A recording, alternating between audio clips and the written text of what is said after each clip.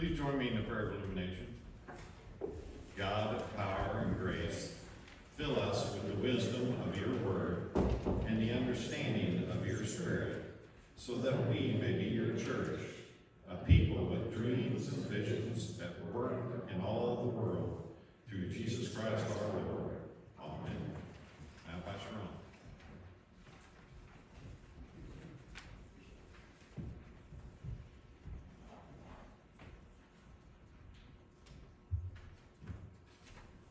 Uh, Good morning. I guess I'm going to start off. For those kids, Donna asked them that. They've never had a bad day. Oh, yeah, they've had a bad day. They don't have a clue, do they?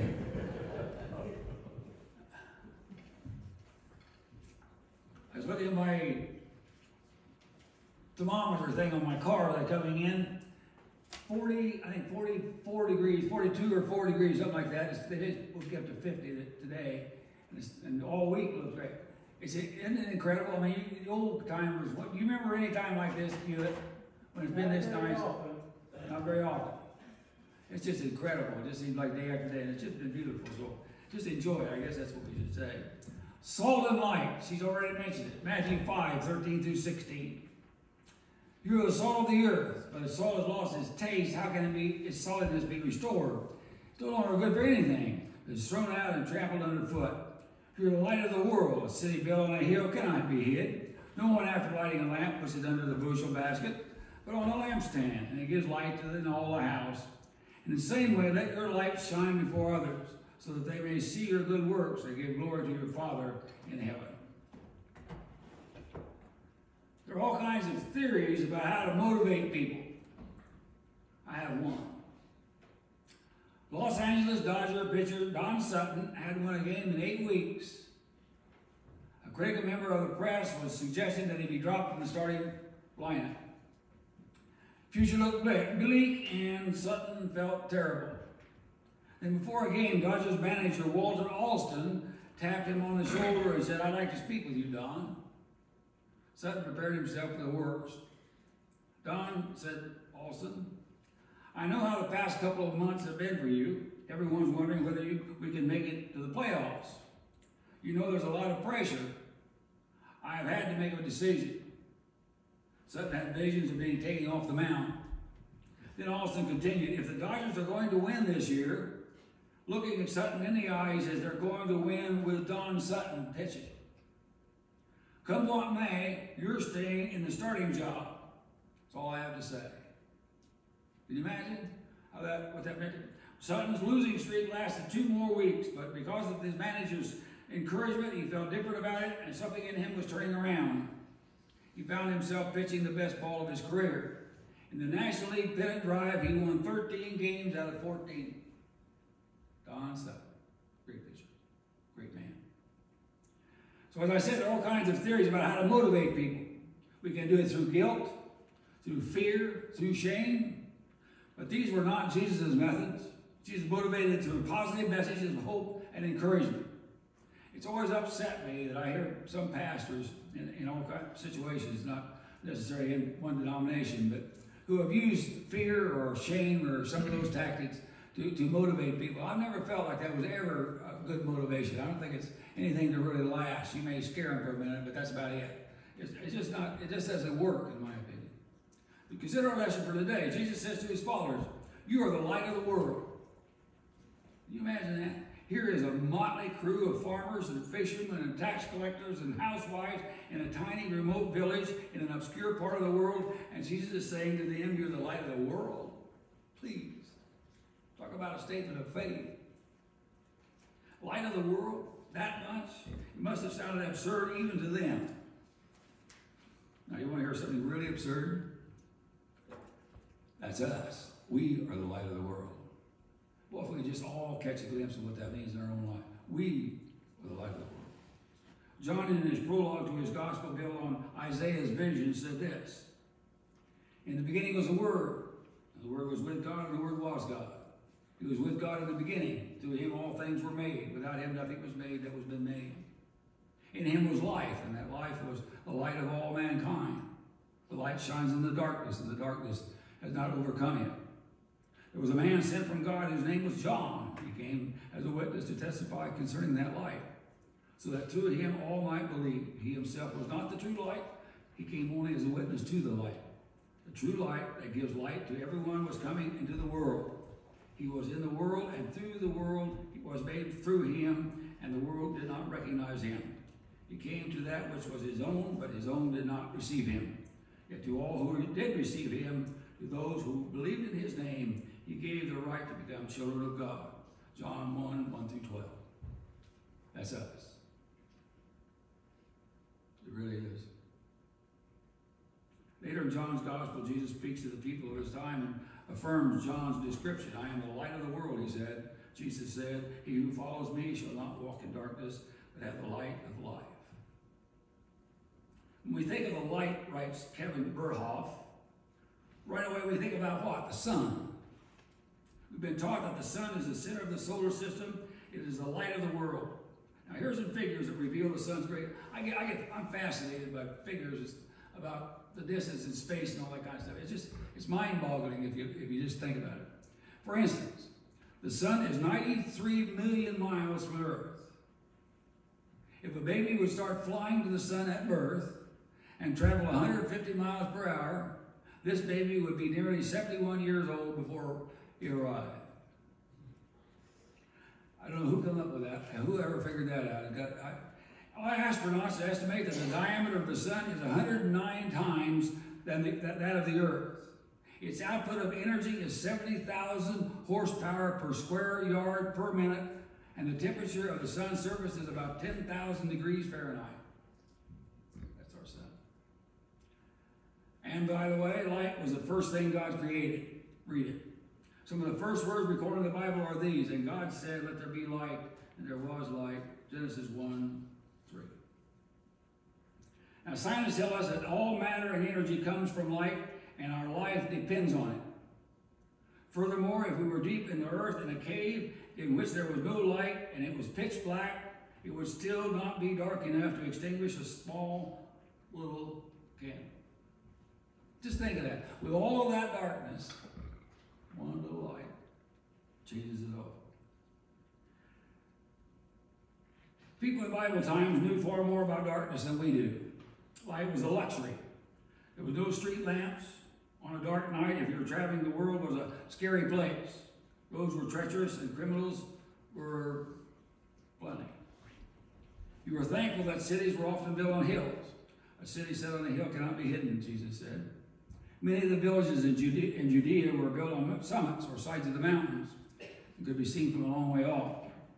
From a great distance, you knew the location of the next village because of the light from that hilltop. But darkness was not the only problem on the road. At the end of your journey, light was still a luxury. Palestinian homes were generally dark. They usually had just one small window. They had no electricity, no light bulbs like we have. Their light consisted of a lamp, which was a bowl filled with oil with a wick in it. When they needed light, the lamp, they needed light the lamp was placed on a lampstand. The most difficult part of having this light in the house was of all things in lighting the lamp. Remember, they didn't have matches or lighters. As a result, no one wanted to get their light, let their light go out because it took so much work just to get it going again. However, when people went out of the house, it was dangerous to leave the light on. So, for, for safety reasons, when they left their homes, the lamp would be taken from its lampstand and placed under an earthen vessel where it could burn risk free. See where all that comes from now? Of course, no one lights a light only to put it under a basket or an earthen vessel. That would defeat its purpose. So as soon as someone returned to the house, they would return the light to its stand so they could shine. All very mundane. The second thing Jesus was saying was when he said that we are the light of the world is that we have something the world cannot have anywhere else. We have the key Mother Teresa was speaking to persons that had come to meet her from all over the world. I've mentioned this before, parts of this. Among the groups to which she spoke was one of the religious sisters from many Northern American, North American orders. After her talk, she asked if there were any questions. One woman sitting near the front said, Yes, I have one. As you know, most of the orders represented here have been losing members. It seems that more and more women are leaving all the time. And yet your order is attracting thousands upon thousands. What do you do? Without hesitation, Mother Teresa answered, I give them Jesus. Yes, I know, said the woman, but, but take habits, for instance. Do your women object to wearing habits and the rules of order? How do you do it? Mother Teresa replied, I give them Jesus. Yes, I know, Mother, said the woman, but can you be more specific? I give them Jesus, Mother Teresa repeated again. Mother, said the woman, we are all of us aware of your fine work. I want to know about something else. Mother Teresa said very quietly, I give them Jesus. There is nothing else. What do we have that the world cannot find anywhere else? All we have is Jesus. We're often reminded these days that we live in a pluralistic world. Today, there are persons of many religious backgrounds who are calling our country their home. And we can learn many things from our new neighbors. If someone should ask you, though, what is distinctive about Christianity, I encourage you to do as Mother Teresa did give them Jesus. That's all we have. The greatest heresy current today is that all religions are the same. They're not. Christianity, Christ, certainly all the world's great religions have something worthwhile to offer, and you can find help in all of them. But what you can't find is the story of the prodigal son, or the good Samaritan, or the rich young fool. There is no higher order of life than that which Jesus taught. Christianity as an institution might not be too appealing at times. Certainly in my background the United Methodist Church, what's going on there is not too pleasant sometimes, especially now.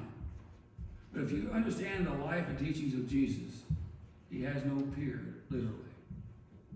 We have a responsibility for the world, folks, you and I. We also have something the world cannot find anywhere else. This to the last thing we said. We're not the source of our light. We are but reflectors of a much greater source. Jesus is the one who has touched our lives and given us the power and the authority to touch others. If you have the opportunity, give them Jesus. That's all you have. Final story. Eric once told about a college professor who had a sociology class go into the Baltimore slums to get case histories of 200 young boys. The students were asked to write an evaluation of each boy's future. In every case, the students wrote, he hasn't got a chance. 25 years later, another sociology professor came across the earlier study. He had his students follow up on the project to see what had happened to these boys.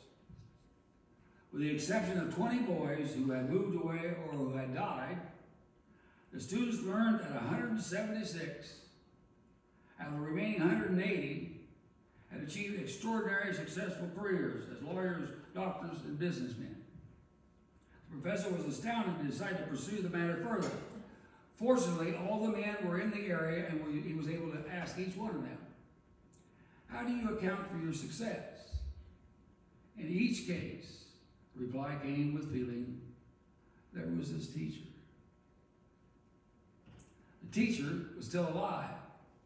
So he sought her out and asked the elderly but still very alert woman what magic formula she had to use to pull these boys out of the slums into successful achievement and careers.